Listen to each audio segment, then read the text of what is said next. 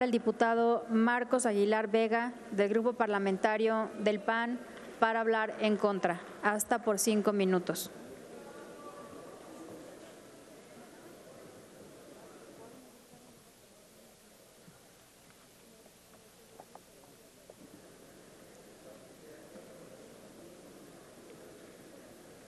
Señoras y señores legisladores, el presente dictamen, lejos, de, lejos está de garantizar los derechos de las personas con discapacidad y de los adultos mayores.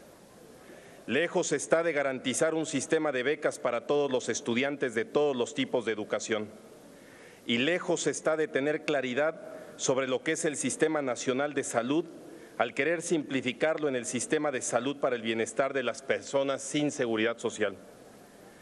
No existe claridad de lo que significa promover, respetar, proteger y garantizar derechos humanos y, en su caso, establecer una política universal en salud y seguridad social.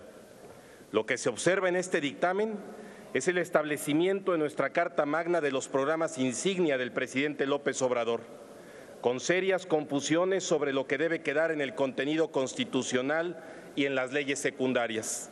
Y también hay que decirlo, con una absoluta irresponsabilidad del impacto presupuestal que implican estos programas para lograr la universalidad y progresividad en toda la población. Al revisar el estudio de impacto presupuestal que elaboró el Centro de Estudios para las Finanzas Públicas, es posible observar un estudio simplista sustentado en algunos programas aprobados del presupuesto de egresos de la Federación, tales como el programa de becas de educación básica para el bienestar Benito Juárez, al que se le aprobaron 30.475 millones de pesos. El programa Beca Universal para Estudiantes de Educación Media Superior Benito Juárez, con 28.995 millones de pesos.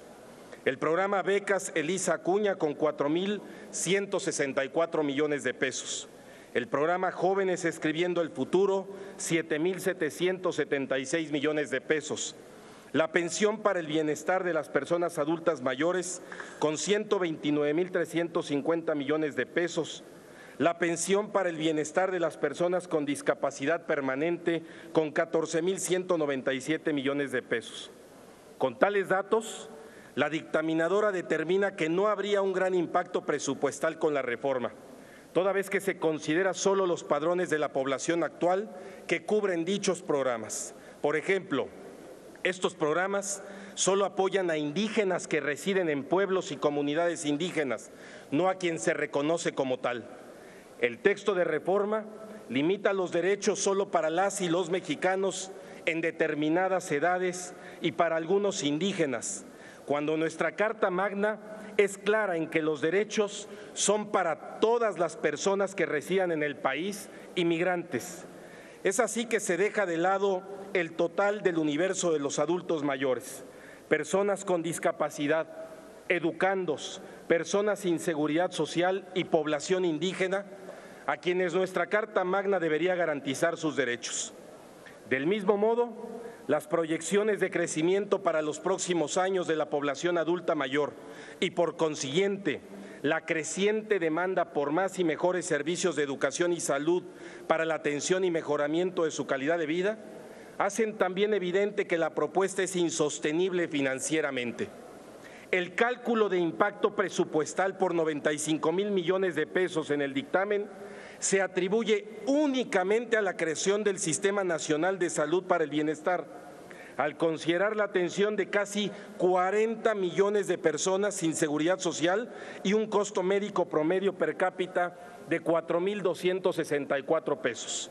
Estimación que es totalmente errónea, pues tan solo el Seguro Popular tenía un padrón de afiliados de 51.4 millones de personas sin seguridad social lo que resulta mucho más coherente con el informe realizado en 2018 por el Coneval, donde se reportó que son 71.7 millones de personas sin seguridad social, por lo que de considerar el mismo costo médico promedio que estimó el Centro de Estudios, sin estar de acuerdo tampoco en este, se tendría al menos un impacto presupuestario de 231 mil millones de pesos, lo que representa casi 1% del Producto Interno Bruto, cifra que contrasta con los 95 mil millones de pesos que establecen en el dictamen.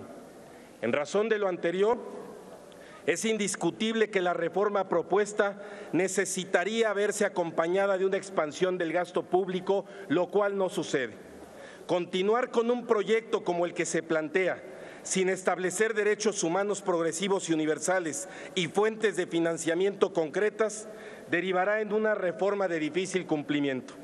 Además, establecer que el presupuesto de estos programas no podrá ser disminuido en términos reales implicará sin lugar a dudas seguir dejando en condición de extrema vulnerabilidad otros sectores prioritarios y funciones sustantivas del Estado mexicano en materia de inversión, empleo, seguridad y violencia que el Ejecutivo Federal ha señalado. La postura de Acción Nacional es votar en contra de este dictamen ya que por sus implicaciones resulta limitado en su alcance por no garantizar los derechos de las y los ciudadanos. Es cuanto. Gracias, diputado. Tiene la palabra.